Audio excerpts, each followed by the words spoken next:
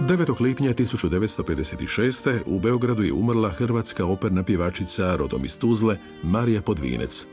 Visoku glazbenu naobrazbu stječe na Muzičkoj akademiji u Zagrebu kod profesorice Nade Eder-Bertić.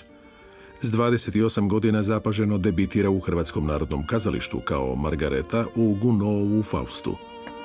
Iako je njezina darovitost bila neprijeporna, sa scene se povlači iza drugog svjetskog rata.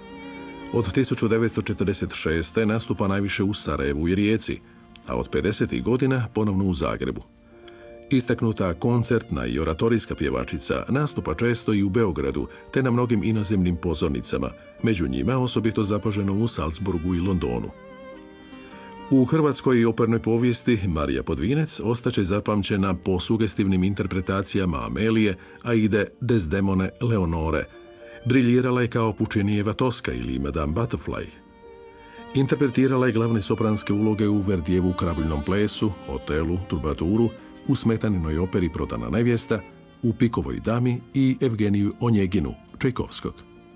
Na domaćim, ali i inozemnim opernim daskama, često i vrlo uspješno nastupala je u Wagnerovu ukletom holandezu, a u operne anale ušla je i prisutnošću u Zajčevoj operi Nikola Šubić Zrinski, te vrsno odigranim ulogama u Gotovčevoj operi Eros onoga svijeta.